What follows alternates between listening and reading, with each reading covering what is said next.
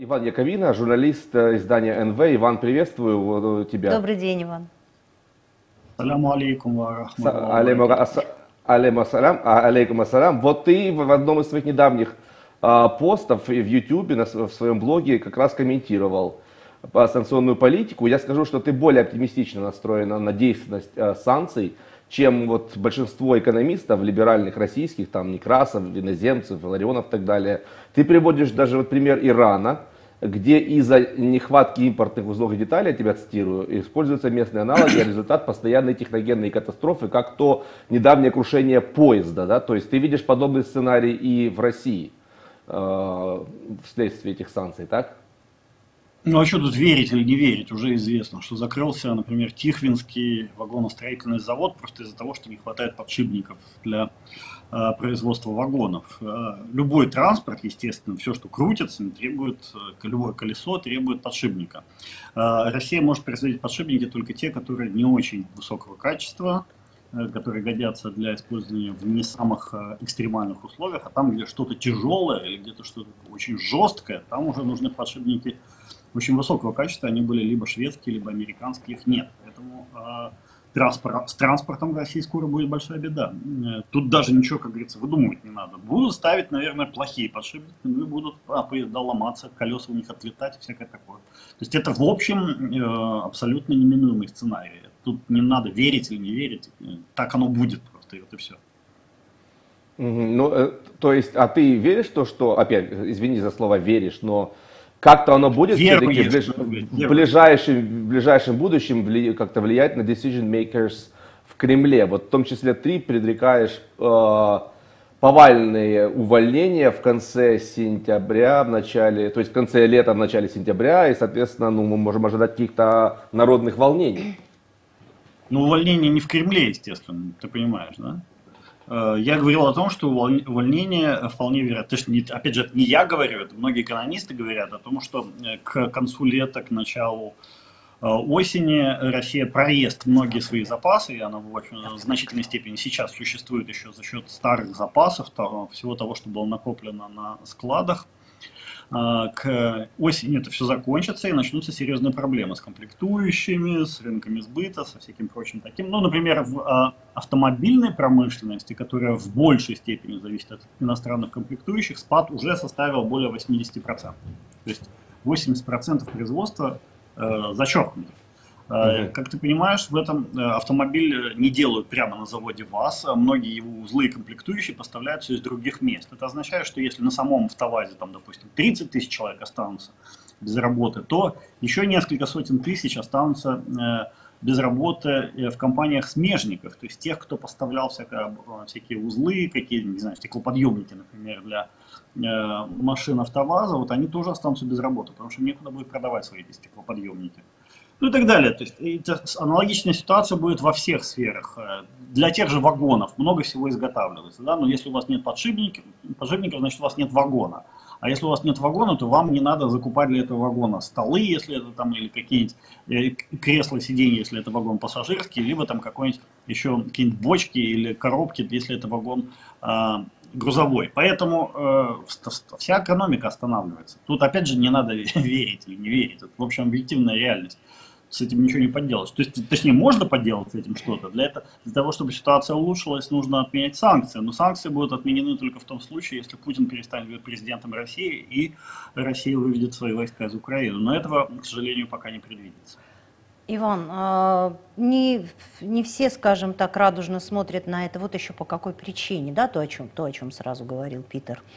А, окей, санкции ввести, как говорится, много ума не надо. Тут же вопрос отследить, чтобы они соблюдались, потому что пока вводятся санкции, естественно, тут же придумываются пути их обхода.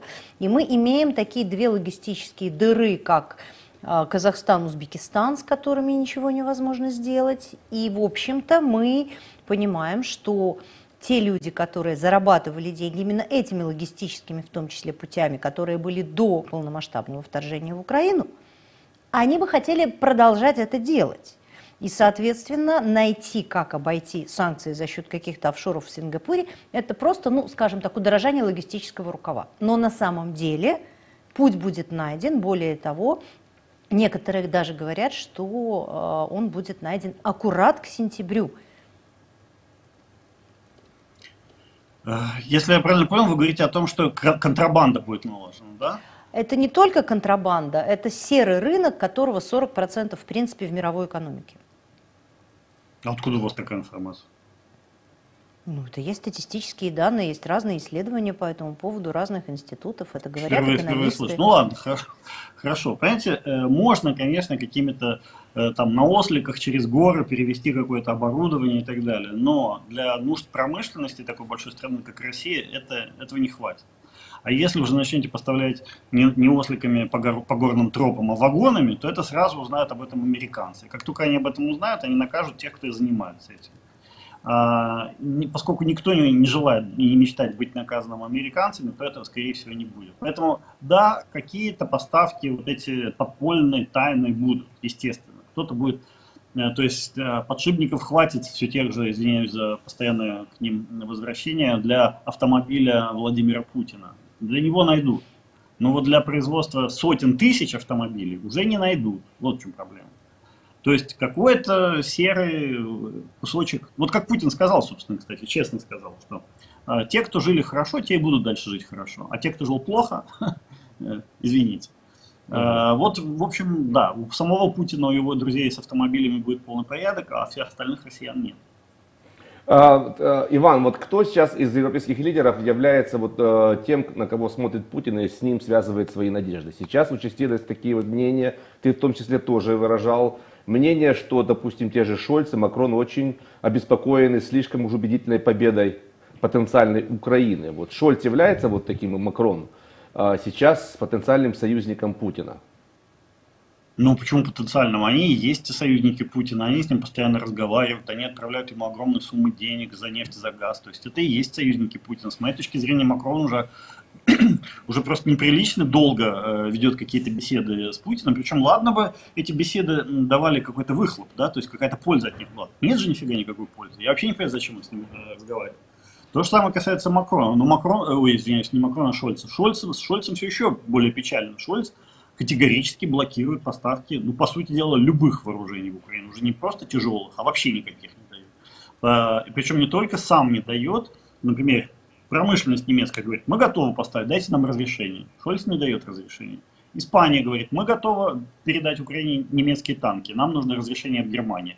Шольц говорит, а я не видел никакого запроса от Испании, ха-ха-ха, поэтому я не могу на него ответить, раз его нет, а раз я на него не отвечаю, то и разрешения нет. Поэтому никакие танки вы, э, испанцы дорогие, в Украину не поставите. Ну и так далее. То есть человек работает просто на Кремль, откровенно уже. То есть я, я даже не знаю, ну вот как бы что он должен там поцеловать э, Владимира Путина на камеру э, в губы или что, чтобы поверили наконец, что Шольц сейчас работает на Россию. Я не знаю, что еще нужно делать. А с этим вообще можно что-то сделать? Mm. Потому что когда мы видим, что происходит на самом деле, и слышим его эти громкие заявления, какой он самый главный помогающий помогун, то плюнуть в телевизор этого как бы маловато.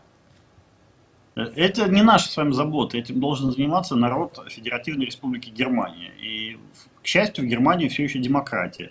И 90, ну, может быть не 90, может быть 80 процентов немцев э, как-никак Украину поддерживают и поддерживают поставки тяжелых вооружений в Украину. Поэтому на следующих выборах э, наша задача в том, чтобы не забыли немцы о том, э, как себя гнусно и подло ведет господин Шульц и проголосовали против него. Кстати, по-моему, уже были какие-то выборы в северной э, земле Северной Вестфалия, и там его партия пролетела как фанера да, над да, Берлином, да, да. и э, заняли э, первое место Зеленый и ХДС, э, нынешние Зеленый с ним в коалиции, а ХДС в оппозицию. Самое интересное, что Зеленые по своей популярности уже сравнялись с партией Шольца. Если бы выборы были сегодня, то э, Зеленые заняли бы, ну, даже не третье, а второе место, а первое место было бы ХДС, Партия, кстати, тоже не то, чтобы я сильно обожаю. Меркель вот из ХДС, и все мы знаем, э, как она управляла Германией, как она с Путиным там десятилетиями водила дружбу и, в общем, поспособствовала созданию российской военной машины. Вот если бы зеленые победили, было бы вообще шикарно, я считаю, вот это было бы хорошо. Но выборов в ближайшее время об, всеобщих не предвидится, хотя есть надежда на то, что в немецком парламенте э, соберутся э, трезвомыслящие люди и объявят в конце концов Шольцу вотум недоверия. В этом случае либо появится новая коалиция, либо будут созваны внеочередные выборы. Вот если мы уже говорим про вот недоверие, вот его пережил британский премьер Борис Джонсон, большой друг Украины, но ты знаешь, победа это, возможно, была Пирова, учитывая, что его предшественница Тереза Мэй а, пережила вот недоверие в свое время с большим а, количеством поддержки от своей партии, чем Джонсон, то есть вполне вероятно, что Джонсон таки до конца года вынужден будет покинуть этот пост. Да нет, все у него хорошо. Но я тебе говорю, что у Мэй был лучший результат, за нее проголосовало больше, и она вынуждена была все равно покинуть пост. Я говорю, что просто гипотетически, если он вынужден будет это сделать, насколько это может повлиять негативно на поддержку Украины. Не на нем же она э, строится, не на нем же весь вот, э, свет клином сошелся-то. На Джонсоне. Ну, не на нем, конечно, но он все-таки значительную роль в этом играет. Потому что Джонсон, конечно, очень такой резвый, резкий, борзый даже, я бы сказал, в хорошем смысле. И не, не, вовсе не факт, что после его будет человек. Вполне может быть какой-то размазня очередной, да, вот как э, были до этого, к сожалению, несколько раз в, в Великобритании премьер-министры. Э, может быть размазня? Да запросто. Он был же Чемберлен, да? Помним это? Как он ну, это, это Тереза Мэй была тоже, в принципе, такая. Ну, Тереза Мэй, она была по-своему тоже крутая тетка. Ну, как бы, э, ну, не такая крутая, как, э, скажем, нынешний Джонсона или как там Тэтчер. Ну, в общем, не об этом. В любом случае, следующий вот вотум недоверия э, по законам британским может состояться только через год. То есть в июне 2023 года. До этого периода очень много чего произойти может. Поэтому я слишком сильно сейчас бы за Джонсона не волновался или за его судьбу. Я думаю, все у него будет нормально. А причем, представляешь, вот я знаю, ты большой нелюбитель Трампа. Я подозреваю, что ты тоже был не очень воодушевлен выборами Джонсона, а, а до этого Брекзитом. Джонсон был один из архитекторов Брекзита. Мы все, я крайне переживал, и тем не менее посмотри, что получилось. Что бы там ни было, но Джонсон уже заработал Вовремя спрыгнули, я вам на доложу. несколько памятников и улиц, переименованных в его честь в Украине. То есть, ну, что бы ты ни говорил про него, для Украины это святой человек. Ну, Абсолютно. я посмотрим по итогу. Святой человек. Я никогда не думал, что Джонсон э, плохой, мне Джонсон всегда нравился, я тебе честно скажу. Даже да? когда он какие-то странные вещи заявлял, мне все равно нравился. Да. Э, и Брексит я не считал плох, такой уж плохой затеей, потому что, знаешь, давай честно говорить, Великобритания всегда была пятым колесом в Евросоюзе. Она была как, ну, пришей, как собаки хвост. Ну, вообще, ни туда, ни сюда, ни нашим, ни вашим. Непонятно, что она вообще делала в этом Евросоюзе. Сейчас она, мне кажется, обрела внутреннее спокойствие, гармонию и так далее, от, отклеившись от Евросоюза. И, в общем, мне кажется, и Евросоюз тоже обрел внутреннюю гармонию, потому что слишком, может, было много проблем с британцами. Но это мое личное мнение. Э, в общем, я и к Джонсону нормально. Потому что Джонсон, на мой взгляд, это один из умнейших людей из ныне существующих на нашей планете. Он э, хоть и выглядит Вау. тогда достаточно нелепо, да, но, но при этом он э, человек какого-то нереального ума. Я в одно время как-то даже увлекся британской политикой, я смотрю, этот человек рассчитывает свои ходы на 5-6 ходов вперед, то есть политически, да, то есть это такой гроссмейстер просто невероятного уровня, и очень нам повезло, что он сейчас выступает за Украину, а не против. Ну не просто, э, он не просто еще я бы сказал, не ясновидящий, ясно смотрящий. То есть человек, у которого есть ясно clear, думающий. Да, да, clear thinking. Это, это такая ну, калька с английского, вот, человек, для которого конфликт, война в Украине не имеет а, оттенков серого. Как для остальных тех же там континентальных европейцев. А, знаете, если бы мировое правительство, там мировая закулиса и масонский заговор не существовал, его в данной ситуации, мне кажется, нужно было бы придумать и поставить Джонсона во главе. Mm. Потому что, ну, если так пойдет дальше, как происходит, то такое ощущение, что это грозит превратиться реально в войну всех против всех. А, Иван, кстати, у меня такой вопрос. Э, ты можешь как-то объяснить? Возможно, это немножко такой банальный вопрос, и он ответ на него очевиден. Я не уверен. А, чем объяснить такую русофобию в хорошем его смысле, путинофобию, скажем так, британцев? Ладно, там, допустим, те же британцы скажут, ну извините, Россия убивает там наших граждан, своих бывших сограждан там у нас на территории, они себе много всего позволяют. С другой стороны, русские, как никто другой, а, контрибуировали в британскую экономику, как а, инвесторы, вкладывающие в недвижку, посылающих своих детей учиться в London School of Economics и так далее. Что британцам так кипятиться так? Почему британцы именно стали теми, которые поддерживают сейчас Украину, как никто другой в Западной Европе. В Великобритании давным-давно есть политика, которая заключается в следующем. Ни одна из европейских континентальных держав не должна слишком усиливаться.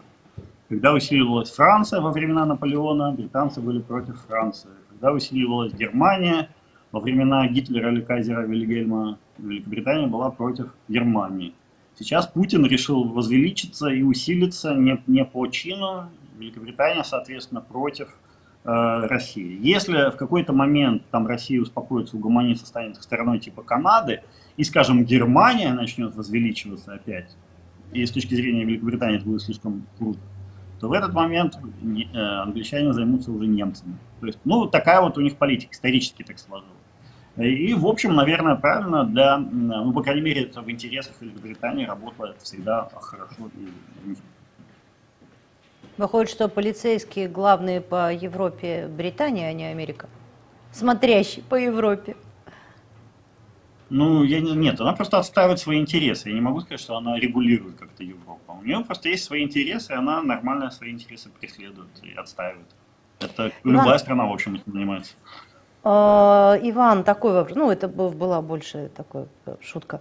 А что у нас, э, вот Украина решила, что было бы неплохо купить израильский железный купол, да? Как вы думаете, эта идея будет иметь какую-то реализацию или так и останется? Нет, конечно, естественно не будет, потому что там миллион миллиардов секретных технологий, я думаю, Израиль не продает даже какие-то там винтовки или что-то такое гораздо более легкое Украине, поэтому когда начинаются разговоры про железный купол, я сразу как бы думаю, что это несерьезные люди ведут эти, эти разговоры.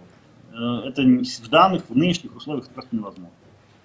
Иван, ну вот скажи тогда уже, да, если мы говорим сейчас про вооружение, все вот ожидают, когда вот, э, и ты, я знаю, комментировал, ты это описывал в своем блоге недавно, как сколько занимает время пере, этим судном пересечь океан, потом выгрузиться и пересечь и, и европейский континент и так далее. Но наши ребята держатся там из последних, в Северодонецке, в Лисичанске. Ты, кстати, считаешь, что не факт, что их можно будет все-таки удержать, и тем не менее они держатся. Э, как, ты думаешь, то есть, вот опять-таки, наверное, вопрос, который тебе задают уже неоднократно, но когда мы реально почувствуем уже а, влияние этих, э, эффект этих, этого вооружения, и как скоро он сможет повлиять на ход событий на фронтах. Ты бы сейчас спросил, когда Украина победит в этой войне? Вот любимый вопрос всех, когда, когда война закончится? Ну, о боже. когда Я в таких война? случаях говорю, где-нибудь здесь есть написано гадалка Таро, там вот это вот все. Я, кстати, на самом деле себе уже решил э, купить карты Таро и проверить, насколько карты Таро э, э, буду сам прям сидеть за раскладывать, и насколько их предсказания будут отличаться ну, от того, ну, что Иван, да, Иван, ты, телевизоре. Да, да, ну, ну действительно, действительно, вопрос, вот задаешь его уже по наверное, даже лучше будет, ты прав, вот лучше даже на него не пытаться отвечать и лучше не задавать. Но смотри, Христа Грозев еще во время битвы за Киев, помнишь, тот Христогрозев, Беллинкет, которого уважают, мнению которого прислушиваются. Миллионные просмотры любого интервью Христогрозева. А, вот он говорил, что резерв русской армии вот буквально через неделю истощится, да, то есть это еще март. Ну посмотри уже 33 месяца и как бы... Так он прав оказался. Насколько мне известно, российские войска не стоят сейчас под Киевом, под Черниговым. Они были вынуждены отойти. Ну то есть посмотри, сколько хватило. у них э, как они бьют по Северодонецку с трех направлений и просто да, не, нескончаемые абсолютно. Он говорил, не хватит резервов на проведение той операции, которую да. вот они тогда затеяли. И не хватило, и они отошли, и они поняли, что так они не могут, и собрали все свои войска в одной маленькой точке. И сейчас бьют в эту маленькую точку. На это у них резервы, к сожалению, есть. Еще будет, я думаю, долго будет хватать резервов долго. на то, чтобы бить. Э, конечно, потому что, ну, мобилизационные, мобилизационные резервы довольно большие, а техники законсервированные, советские еще, огромные просто горы, бесконечные поля. Э, сейчас буквально сегодня я видел ролик, как какие-то ураганы едут, э, установки урагана из Сибири в направлении Украины по железной дороге, ну и так далее. То есть, в принципе, э, Россия способна вести эту войну довольно долго. Что может помешать вести долго? Это, конечно, даже не общее количество, а динамика отстрела российской артиллерии. Если привезут эти системы Хаймерса, и эти Хаймерсы начнут использоваться необходимым должным образом, э, уничтожая российскую артиллерию там, 10, 15, 20 артиллерийских установок в день, для чего, собственно, Хаймерсы и были созданы изначально, то тогда, конечно, Россия поймет, что дальнейшее ведение боевых действий будет для нее просто опасным. Она проиграть сможет эту войну. Э, поэтому, да, нам нужно сейчас надеяться, чтобы как можно быстрее привезли эти установки. Ну, а дипломаты и военные, наверное, должны, так сказать, подстегивать американцев, британцев и немцев, наверное, даже, чтобы они поскорее все это предоставили Украине. Потому что, и причем в нужных количествах. Доброе а, слово и пистолет всегда а, лучше, чем просто доброе слово. Спасибо, Иван.